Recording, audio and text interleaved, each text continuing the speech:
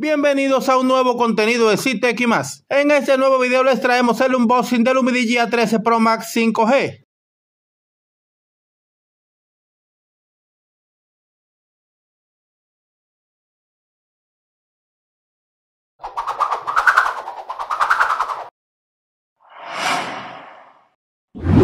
Umidigi el año pasado lanzó un gran número de dispositivos como la serie 13, la serie Power, la serie F3, el C1, G1, entre otros, los cuales a mi entender dejaron mucho que desear. Dispositivos los cuales ninguno llegaban siquiera a una pantalla Full HD Plus. Sin embargo, dejaron su mejor modelo para último, un dispositivo a un precio prácticamente insuperable. Estamos hablando de este modelo Lumidigi 13 Pro Max 5G. Aquí podemos ver la caja, en la parte trasera tenemos un resumen de las características del dispositivo. Más abajo tenemos otros detalles como que incluye el mismo, página oficial de la compañía, dirección, entre otros datos.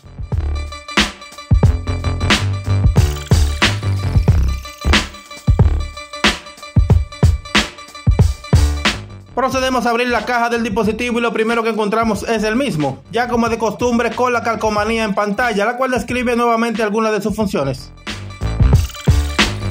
Procedemos a retirarla, viene con el cover TPU insertado en el dispositivo. El color del dispositivo es el dorado, bastante atractivo. Rápidamente procedemos a describir los puertos del mismo. Del lado izquierdo tenemos el slot para tarjetas NanoSIM y micro SD, donde podemos insertar dos tarjetas NanoSIM al mismo tiempo o una tarjeta micro SD y una NanoSIM.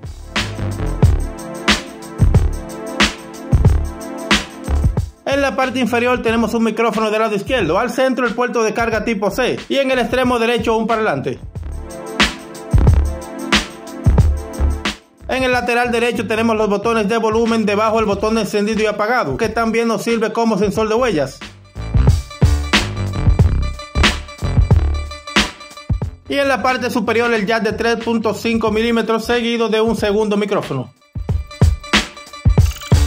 Tenemos una construcción en policarbonato, algo común hoy en día en dispositivos de gama media. Tenemos tres lentes, siendo el principal de 1.64 megapíxeles con un focal de 1.8, un segundo de 5 megapíxeles para el modo bokeh con focal de 2.4 y un tercero de 5 megapíxeles por igual para el modo macro con focal de 2.4. A la derecha de los lentes nos encontramos con dos flashes siendo dual LED. En la parte inferior del mismo lado tenemos la frase Beyond Dreams, la cual Umidigi ha adoptado desde hace unos años a la fecha, y en el extremo opuesto el nombre de la marca.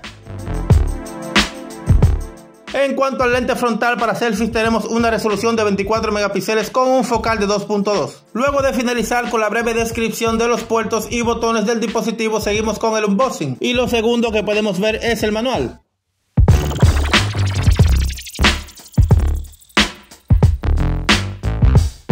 Seguimos con el cable USB tipo C de color rojo, algo ya típico en Umidigi y el pinchito para la extracción del slot para tarjeta NanoSIM y micro SD.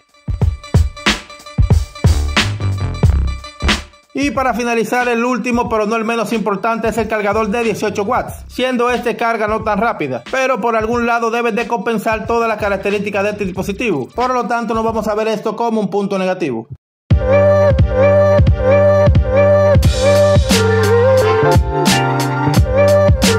Ahora vamos a proceder a detallar las características del dispositivo. Veamos qué nos ofrece un Umidigi en este nuevo terminal.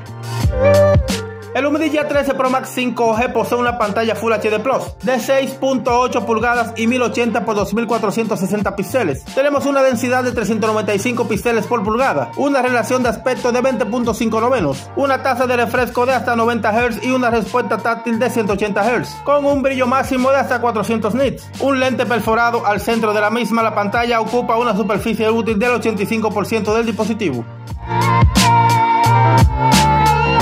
Oh,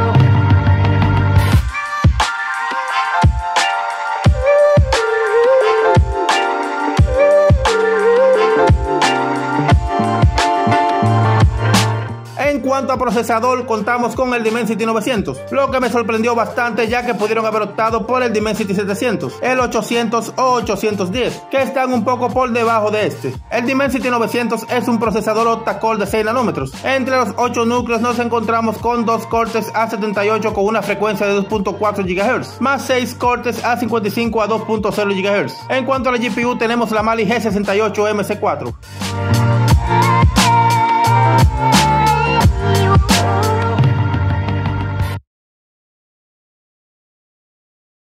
Cabe destacar que aparte del procesador tenemos otra de las mejores características del dispositivo, y es que tenemos 12 GB de memoria RAM y 256 GB de almacenamiento, así que no tendremos inconveniente en cuanto a la gestión de aplicaciones en segundo plano, y tampoco tendremos problemas con el almacenamiento. Aunque si 256 GB tampoco son suficientes para ti, puedes expandirlo a través de una tarjeta micro SD, al igual que la memoria RAM, accediendo a ajustes y características del dispositivo mediante la opción expansión de memoria, método por el cual le podemos agregar desde 2 GB hasta 5 GB de memoria RAM, restándole la cantidad que seleccionemos al almacenamiento, para darnos un total de unos 17 GB de memoria RAM, toda una locura, para un terminal por debajo de los 300 dólares.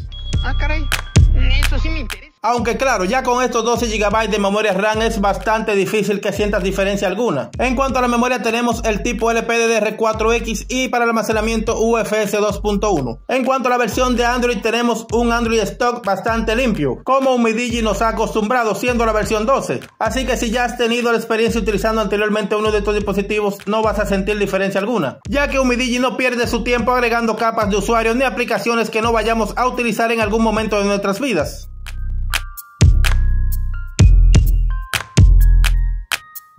En cuanto a la batería, contamos con la capacidad de 5150 mAh para una carga rápida de 18 watts, lo cual nos va a dar para el día sin ningún problema con un uso no muy excesivo. Claro está. Gracias al Dimensity 900 de MediaTek, estos procesadores nos dan un excelente resultado, tanto en eficiencia como en autonomía. Sin duda alguna, MediaTek ha marcado un antes y un después luego de estos procesadores. Entre otras características, contamos con Wi-Fi 6, Bluetooth 5.2, no tenemos NFC, contamos con radio FM, tenemos la funcionalidad de Stradin. Esta función nos permite bajar el brillo un poco más de lo establecido por el fabricante, ya sea que estemos en situaciones con poca luz, donde no necesitemos mucho brillo, y quizás el mínimo establecido por el fabricante aún siga siendo mucho. También podemos configurarla para que siga en función luego del reinicio. Podemos manejar la intensidad y agregar un acceso directo.